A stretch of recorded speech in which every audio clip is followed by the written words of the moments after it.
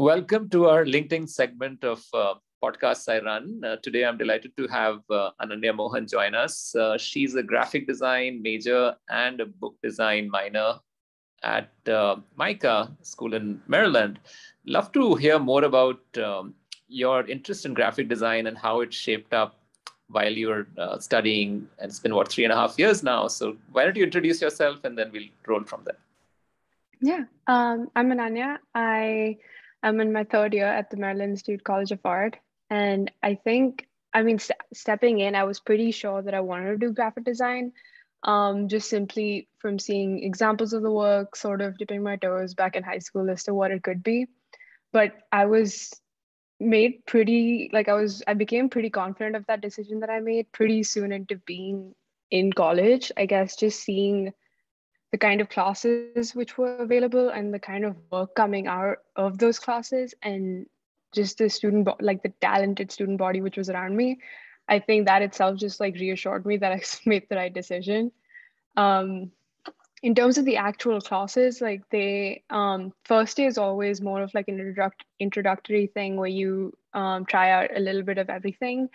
It's called the foundational year but um, second year is when you really step into your major and for graphic design, that starts with two directions of classes, which is typography and then overall graphic design.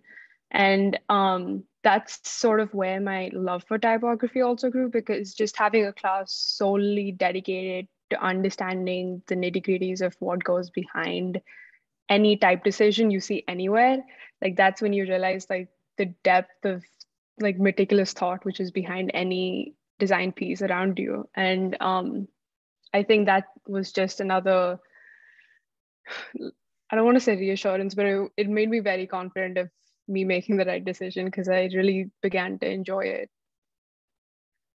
Great. And so if you look at, um, you know, experiences that you got beyond class, uh, classroom activities or studio activities, um, maybe student clubs or the internship that you did uh, over the summer, uh, what are the skills that you picked along the way which perhaps were introduced in class, but you honed further at these settings?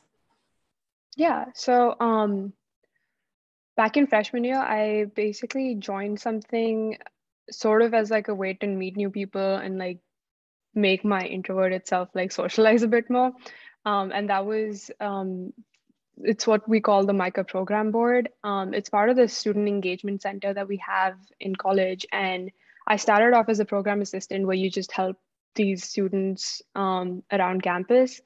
But I realized that the work they're doing is actually extremely important. And it was essentially like making events and programs happen across campus. So any student led activity, any um, social event which was happening, they were the ones behind it.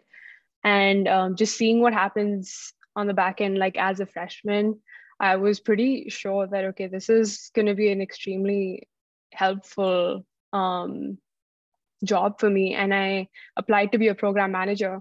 And essentially, it's a team of you who, and you work with a partner and you basically come up with ideas and based off of the committee that you're in, uh, ideas for making the student body also engage beyond just academics. So you do events which are anything from like the Halloween party that people love to go to every year in MICA, but also more academically informative ones like MICA Talks, which is like this segment where we involve, um, where we invite al- alumni to come and give talks.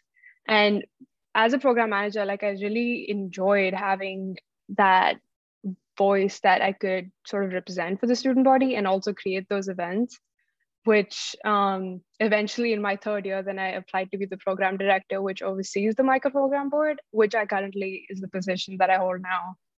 And um, yeah, it's just been really, it also has helped my design practice as well because a big implementation of what you learn is um, a big part of it can be marketing and like communicating what you want um, what you want to express. And just simply like from the small acts of like marketing an event um, every single month or like having something like that like put out there which was like my design that made me feel okay like i'm actually creating now. Like it's not simply like projects that i'm doing in class. Like i'm creating something that people uh, consuming outside and it's inviting them to come and do the programs that we're forming for them. So it was this back and forth which started and um, just that implementation also really merged what jo- the job that i had with the practice that i was doing in classes.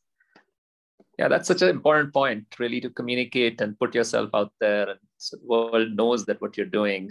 Um, the other thing that you really uh, got me excited thinking about the minor that you were enrolled in was the book design minor. Um, as a big fan of different books and i was talking about books and pop out books and various other kids children's books is something that i follow a lot having a seven year old now at home uh, tell me a little bit uh, about this minor and what fascinated you to enroll for this?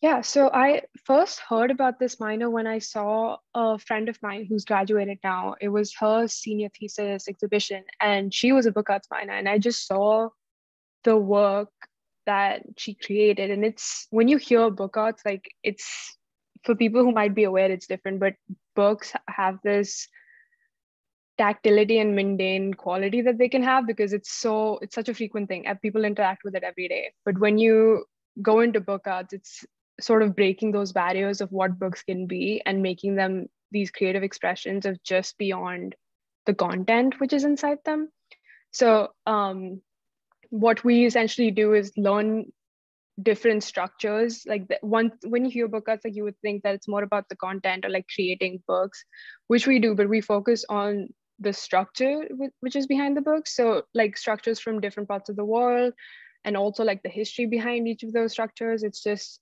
um it's this long hi- historical practice which is now being sort of it's so accessible to us it's so easy to do and like learn and um it just makes it it really ins- inspired me because i'm personally very interested in publication and seeing all these different forms of book arts made me realize that there's no like limit to what is possible i guess because there's just so like endless potential of expression of what you want to communicate fantastic so thank you so much uh, ananya and looking forward to all your success in the future and wish you all the best with the internship season coming up and um, i'm sure our audiences um, who audience members who are interested in graphic design and book art would uh, would like to do a follow up session with you.